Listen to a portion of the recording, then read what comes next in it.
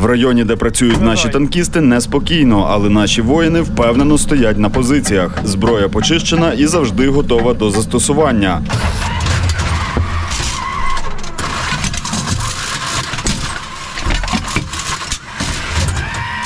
Возобновляй наводки. 125-мм снаряд щоденно збільшує кількість втрат живої сили та військової техніки противника.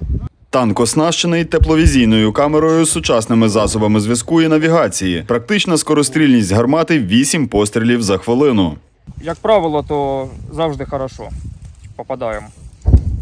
З додаткового озброєння на башті встановлено зенітний 12,7 мм кулемет НСВ. Заряджений, почищений, красивий.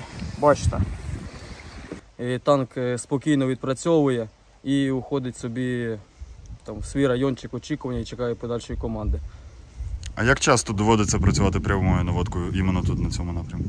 Кожен день. У кожного виходить свій сектор, зона відповідальності. Допустимо, ми прикриваємо цей край, хтось той край.